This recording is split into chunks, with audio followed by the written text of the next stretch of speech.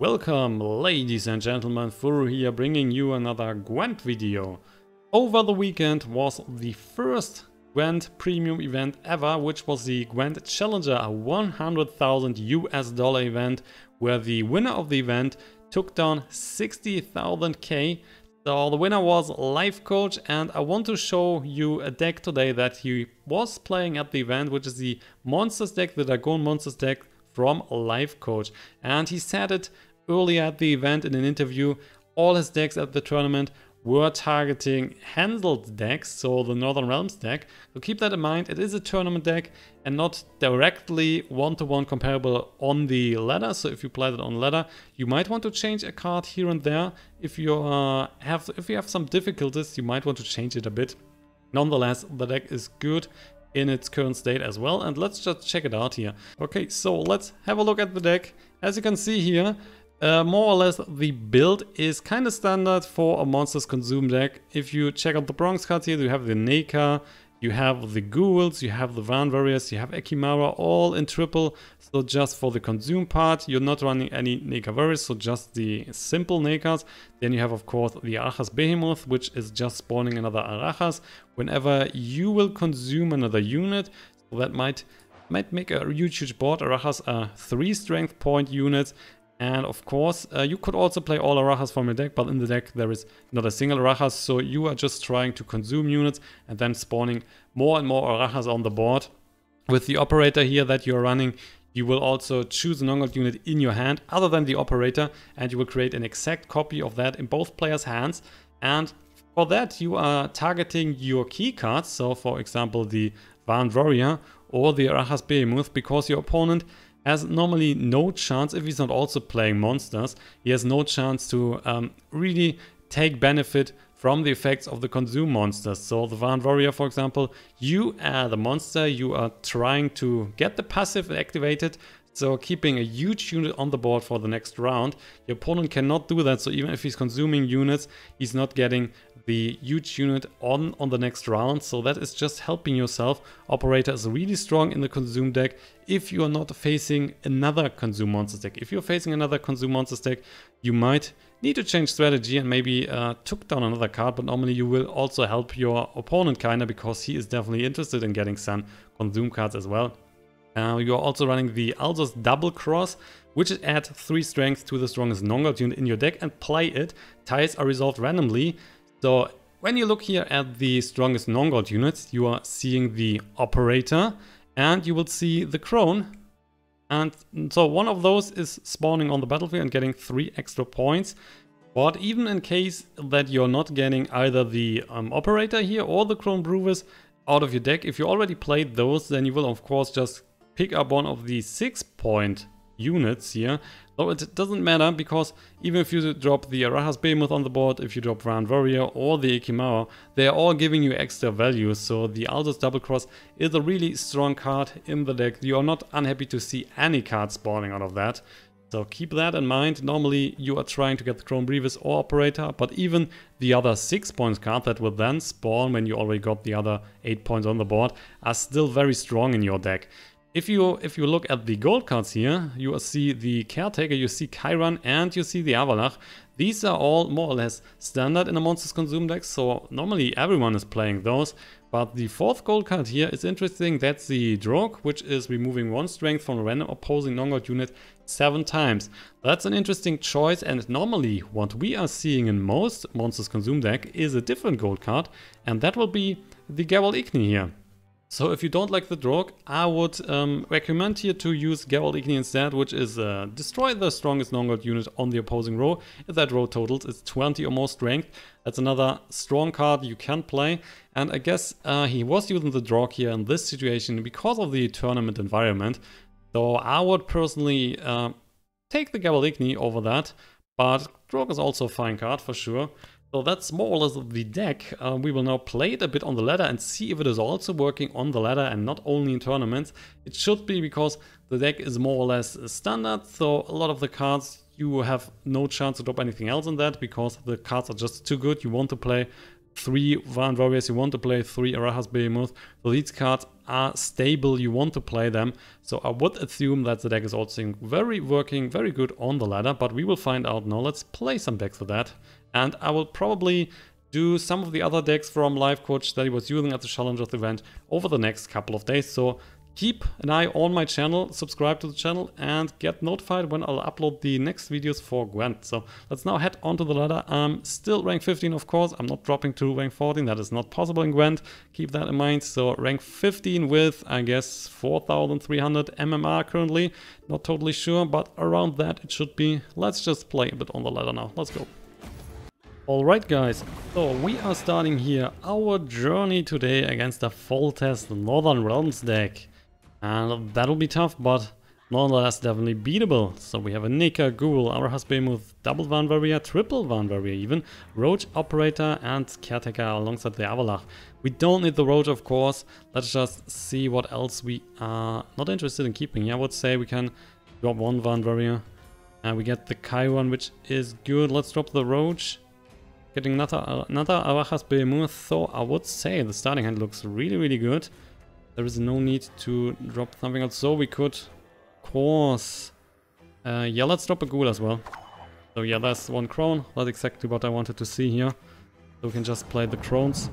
Our opponent is starting with a reinforced trebuchet. If we go for the operator here, opponent is not getting any value out of that. If we, for example, get another Vran Warrior or another another Arachas Behemoth. So let's start with that. We are copying the Vran Warrior. Got another one of those. The trebuchet is of course hitting the operator. And he's looking forward to see more trebuchets on the board. And as I said earlier, the Varia is not giving him any sort of value. He can consume other units, but it's not like he has any units that are so, helping him with some uh, consuming. So not nothing like the Arachas Behemoth here, for example. Just another trebuchet on the board. We are now dropping the... Uh, let's start with the Behemoth. Then the Warrior and then the Nekker. And with stuff like the Crone and the Nekker, we're just thinning our deck to get to the right cards that we want to see. Definitely looking forward to win the first round here and then uh, play the Avallac'h, for example, in the second one. It's going for the Kaedweni Siege support, which is buffing 3 to 2 units, so that's good for him. Drop the Warrior. If he's killing that, we can just drop another one, no problem. Only problem would be if he's hitting the Behemoth too much. So that's Jixra. He's looking at all the no gold cards in his deck and he's playing one and the others will be placed at random into his deck. He's going for the Bloody Baron, spawning the Botchling, which is with silence, so he is staying at the battlefield for the next round. Not that of a problem. And we will just drop the Nekker here. Plan is just what we wanted, so we are spawning another Nekker, we are spawning Arachas getting a lot of points on the board, plus the Nekkers of course always getting buffed here whenever we are consuming. Now also going for the Warrior. Interesting, so how about let's just drop the Crones. So we're dropping the other Crones out of our deck, which means we're now ahead. Two points, he's dealing two points with the supports, and that means we are 45 to 45. Going for Priscilla, he's now seeing two cards. One is face down and he's deciding what to play here. Going for King of Beggars, which should give him either Reaver Scout or Field Medic. He's getting another Reaver Scout. So another Siege Support. That is a lot of points just from the Priscilla. And that's why he's now going ahead by uh, 16 points. Buffing the Botchling, so that will be 8 points that is staying on the board for the next round. And let's see if we just go for the Kayran. That would be a lot of points. Could also just drop another warrior here. And consuming more stuff to get a bigger unit on the board for the next round. Nekkers are going down. We are spawning the last Nekker out of the deck. Another two from the trebuchets. So, let's see. Currently four points behind. Thank not me. Thank And he's just playing Priscilla again. And it looks like he is looking for another Priscilla. So if he's consuming again, he could get Priscilla again on the board. Cleaver, that is locking um, the Vran Warrior. Not that of a problem because we still have one more. So that's a possibility. Otherwise we are just keeping these six points here. Not totally a fan of that. So I guess we are just dropping another one. Yep, that's good. Currently 10 points behind, which is totally fine at this point. We still have the option to just drop the weather here. And if we drop the weather, then everything in the back is just getting down to one point. Just buffing the botchling again. And how about we are now just stealing Priscilla? Out of his graveyard, so Priscilla is coming. Let's show him what we are getting the Ekimmara, which is then eating... Let's see, we are going to eat this little guy, or shall we eat the 8 points? 8 points is even more, right? That's better. Yeah, especially if we go for the weather. We're eating the 8 points. Not eating the Vran Warrior. There is still a chance that we want to get another unit there. I mean, probably not, but nonetheless, let's go for the 8 points. So there's a consume. We now have 20 for the next round. We are going ahead here by two points. And now we even because of the reinforcements. But nonetheless. Uh, looks like he's just getting going for the Reaver Scout. Yeah, that's another 8 points. And another Blue Stripes Scout. Which is just again buffing the botchling here currently ahead, but what we are doing is just playing our Dagon, using some weather. That will be rain. Getting rid of a lot of points here on the board. And with that, we are going ahead here. By three points. Plus we are of course keeping right now the 19 points, but that is going up to 24 points. And the longer the round is going, the more it will get, and we can still play the Kayran, for example. If he's investing more cards, that is more or less just helping us if he's not able to clear the warrior. Time is running out, so he needs to decide kind of fast. That was a decoy. So he's going for the Reaver Scout. So, playing it again. And he's going for the Reinforced Trebuchet, which is also down to one point. It's just that he can deal more damage here. So it is two to three cards. We are just going for the Kayran.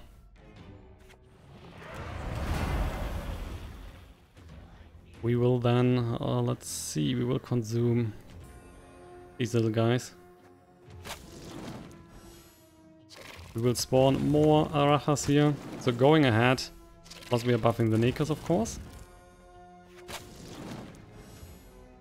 So push us ahead here by uh, 19 points. We're getting another 3 from the Reinforced Trebuchets. Plus we have 24 for the next round, which is a lot. So I'm not sure if he's really interested in investing more cards. Probably he's not. No, he's not, so he's passing. We are also just passing, of course. Keeping a lot of points for the next round. Plus, we still have the small advantage that we can just play, for example, the Avallac'h here. Ekimmara and a Ghoul. So yeah, we are just, oh, just playing the Avallac'h. That is pushing in my head, but he needs to still needs to play another card. He's getting the Roach on the board. It's time. There you go. So it's 29 to 24. We have Ekimmara, we have the Alzur's double cross. What was that? Yeah, promote. Okay, that's fine. So that's 33 to 24 points. What we are doing is uh, just going for the Ghoul here, consuming a unit, which was three points, so probably the siege support. What do you want Probably. As a field medic, getting the siege support on the board, so you can just buff a field medic because the other units are now golden, no chance for him. We're dropping the Ekimmara, eating the Ghoul, so that it's 13 points on the Ekimmara, and if we use the second Ekimmara here, we can just um, get the Vran Warrior for the next round. Medic, but of course, there was Shani, that means we're just passing now. He's way ahead in points. But we have one card advantage for the next round, plus we are keeping the unit here, which will be a huge Vran Warrior. So not a problem, let's just pass. So that is 37 points for the last round. Plus we have Arachas Behemoth, plus we have Ekimmara. So he's just for feeding here. There's not a chance that he's coming back from that if he's not able to kill the Vran Warrior. let's see how many points that is giving us. So we are getting 44 points. Yeah, and we were now at over 4.3k MMR. Let's go for the top. So let's play another game. Okay, so game 2 will be against Francesca's Scoia'tael. That will be interesting. Normally you're seeing uh, more Brouver Hoogs, so Francesca is an interesting choice. We have uh, for the starting hand Nekker, double Ghouls, Arachas Behemoth, one Vran Warrior, double Ekimmara, one Crone, and Kayran plus a Draug. So I guess we are looking forward to kill one, probably the Ghouls here. Ghouls are not that strong earlier on because you are not, if there is no unit in the graveyard, you can of course not banish anything. So it's better to play those late in the game. Let's see, we get Caretaker, yeah, that's that's great. Also, you're also playing the Caretaker normally on the second or third round. Top the last school as well. We get Alzur's Double Cross, which means we would get the Operator. Because right now, it looks like we are starting them with the Crones, then play the Alzur's Double Cross, which is giving us the Operator on the ball, And then we can, for example, just play another Arachas Behemoth or another Vran Warrior. See about that. Uh, the rest looks fine, so I guess we are just starting with that. Yeah, time is also running out, so let's just do that. Let's accept here. Opponent is deciding, let the coin decide who's going first, and unfortunately for him, he needs to start the game, which is always a little disadvantage. Starting with the Vrihedd Dragoons, so he can add 4 strength to a non-gold unit in his hand. That might be dangerous. We will find out if he's playing some ambush cards here or not. Uh, for now, let's just start with the Crone. Getting the other Crones on the board, so that's 20 points right from the start. And that was... Uh, that was the Venom, yeah, Manticore Venom, which is that he's choosing 3 adjacent units and he's moving 4 strength from the non-gold units among them. That's why he was moving 12 points, which is of course a lot from a small Bronze unit. Bronze card, not a unit. And um, then we will now go for the Alzur's Double Cross. Getting the Operator on the board. Spawning for 11 points. And I really like to I mean, yeah, we have another behemoth. Uh, still going for the Vran Warrior. I like that. Like that a bit more. So opponent now has also a Vran Warrior in his hand, which is not really helping him. Just like the last game, so it's not like he's getting that much value. As a rally effect, going for the Dol Blathanna Archer, removing sweet strength from an opposing non-gold unit. And he's hitting, he's only hitting the Crone, that's only two points, man. Uh, could have been something else for you to play. Anyway, let's just drop Arachas Behemoth here. Then we are dropping the Warrior and the Nekker, just like the last game. Ah, okay, so with the Cleaver, he's just locking in the Arachas Behemoth. So we're not spawning, spawning any Arachas, unfortunately, but nonetheless, we are good ahead here at the moment. 13 points. There's the Elven Mercenary, he's also playing the Double Cross. Getting the Cyprian Wiley, which is moving 3 strengths from an opposing non-gold unit. Let's see what he's picking. Uh, are you again only picking the 2 points here? Yeah, finally he's picking the 3. That's more value for him. Let's drop the Nekker here. So again, Vran Warrior is eating the Nekker. We're spawning the second Nekker out of the deck, so that's 4 point now. And still three points ahead. There's another Elf Mercenary. He's picking up the Swallow Potion. He's adding 8 strength to a non-gold unit, which is apparently the Vrihedd Dragoon. So that makes him currently uh, 9 points ahead. But of course we have one card uh, more to play, so it's not like he's getting super much value here. Uh, we might just might just be interested in getting a huge Vran Warrior for the next round. If we play the Draug, we will we will get rid of 7 points on his side, plus we're getting 7, plus we are spawning the Roach, which might be very useful right now. But just thinning out the deck a bit. Yeah, let's do that. So Roach is spawning in the melee row. Plus 7 points reduced on opponent's side. Which means we are currently 8 points ahead. And there is an ambush card and you can kinda be sure that the Vrihedd Dragoon was buffing this one. And that is probably then the Toruviel. Could of course be something else, but looking like Toruviel. Toruviel is 6 points, plus he's buffing uh, the adjacent units here. The two adjacent units. That will be another 4, then that's 10 points in total. Which means he's currently 2 points ahead. And of course it can be even more. Uh, just going... Are we going for the Ekimmara here? Yeah, okay. So that is 18 points that we are right now, uh, 17 points, sorry. 17 points that we are right now getting into the next round. Which is pushing us ahead by 21 points. Oh, another ambush card. Alright, so that is interesting. If we're just passing, he's getting 10 points here. He's still behind. We could also just play or spawn some weather here, that's a possibility. Uh, he has one warrior in his hand, which is not really helping him to push a lot of points. And two unknown card plus still the hero power. We, are one, we have one card advantage. And really like to just pass now, to be honest. Uh, Caretaker is not giving us anything right now, there's nothing in his graveyard. So let's just pass. Activating the Toruviel here. Oh, that's a Toruviel. So the last card is not activated. We are five points ahead, so he needs to play another card. Let's enjoy the weather while we still can. Of mercenary, he's spawning. Alright, so that was the Shiro. Which is pushing him ahead, but he also he is losing in card advantage heavily. He only has three cards, one of the warrior, which is not helping him too much. Plus we are keeping of course a unit on the board, which is the 14 points from the Vran Warrior. So he is two cards behind and he has less points on the board right now. So that was kinda very, very, very expensive for an opponent to just win the first round. He is letting us starting here. Uh, we have some some option for that. We have double Vran Warrior, we have the Ekimmara. I like to just start with the Ghoul here. We're consuming one unit in our graveyard, which was probably a Nekker. There it was. Going for Francesca. Then it's our turn again. He's still two cards behind. Uh, we might just play Ekimmara. Eating the Ghoul here for the 7 points. So that's 13 on the board.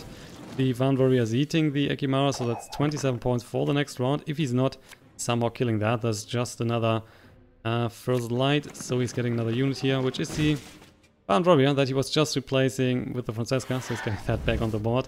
Not really helping him. So it is 27 to 6. We of course still forced to play more stuff on the board. And we could do so with the Caretaker. If we're just stopping a Vran Warrior, that might not be too useful. We could play the Caretaker here. And getting a unit on the board. So for example... For example... We could get a here. We could get Cyprian Wiley. That would be 7 points. We could just play the Archer. A lot of decent stuff. We could also just play the Dragoon. That would be 9. Cleaver. A lot of interesting cards to take. Yeah, I guess we'll go for the Caretaker then. So, the most points will be this one here. That's 10. Let's just pick it. Let's just hit this one. Put 3 down. It's 3 to 43. No chance to win this one. Dragoon buffing another card in his hand. There's only one card he can buff. And I don't think we need to play more stuff, but might still be. Let's drop one Vran Warrior. Let's see what he's doing. So we are keeping 33 points for the next round. Are you seriously continuing here? He's not, he's just passing. We of course also just passing.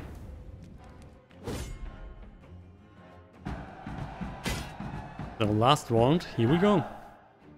With a huge, huge advantage of course. That will be tough. There's Arachas Behemoth, very good in the situation. So what we can do is just drop the Arachas Behemoth here. We have the Kayran, so we are definitely, definitely spawning stuff on the board. Going for the Igles, uh, getting a special card here.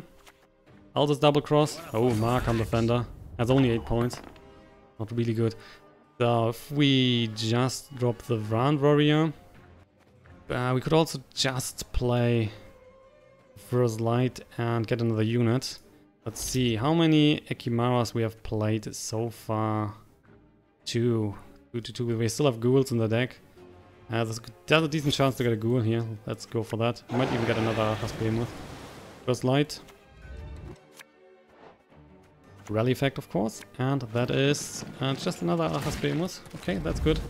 So if we go for the Kayran, we're saving the points here. There. Now let them There's a dangle Bran, he's... Oh, he's hitting the Vran Warrior. Interesting. So what we're doing is just dropping the Vran Warrior here into the lane. And then we're playing Kayran. There's. Yeah, he's down. He is just down here. He's not even ahead now. We are just playing the Kayran. Eating the Vran Warrior. We are spawning all the little Rajas here and winning heavily. Heavily. That was devastating. And that's another victory with the deck. So apparently it is working really, really good on the ladder as well. Roach going down. And it is 34 to 74, winning the last round as well. And with that, we are at the end of today's episode. Let's just check out how many points we were getting here. So the rank, we're getting another 45 points, so nearly at 4,400 MMR. Slowly getting there, I haven't, I haven't played that much to be honest, but there will be some news for the open beta, for the date of the open beta this week, so stay tuned. Check out the Gwent Twitter or the Twitch channel, I'm not sure where they're announcing that shit, but news about the open beta is coming and you can expect that the open beta is probably starting at the end of May because the season, the ranked season, should end at the end of May as well. So that might be coincidence and expect to see the date of the open beta this week. Guys, thank you for watching this video and I will then see you in the next one. I will probably do some more stuff for the Grand Challenger decks over the next couple of days, so keep an eye out on the channel. Uh, if you have liked the video, just give it a little thumbs up and don't forget to subscribe to the channel. Thanks for watching, I will see you then guys. Have a good night. Bye bye.